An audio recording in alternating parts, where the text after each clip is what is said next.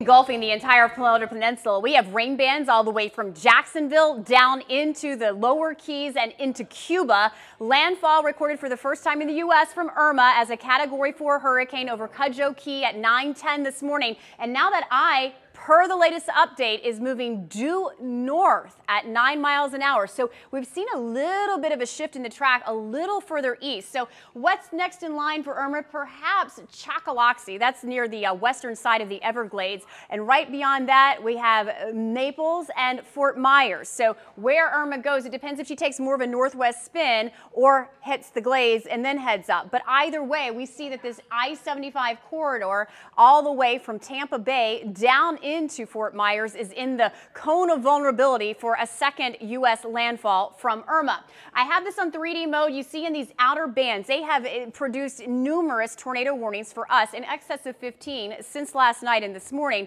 And when you see this elevation, you know, this lift, this is what uh, we have. Uh, the rain wraps around the funnel cloud in the spin because of the sheer force of this counterclockwise motion of this tropical cyclone. I mean, it's crazy to think that the southern end of the outer bands are extending extending as far south as Cuba, and the northern end, the northern reaches all the way up into Jacksonville. And we have wind reports. I just talked to some people back in Atlanta of in excess of 30 miles an hour. That's how far the wind field is. Specifically, hurricane force winds still at 130 miles an hour, no loss of intensity, continue to span out 80 miles from the center. Tropical storm force winds extend out 220 miles from the center. So the 11 a.m. advisory has a due north motion. That's different. It has the same sort of wind speed, keeping it as a major hurricane, and it will likely be so as it hits I-75, maybe just south of Fort Myers, perhaps, with a major Category 3 hurricane status with 125 to 130 mile an hour winds, which would be a 4.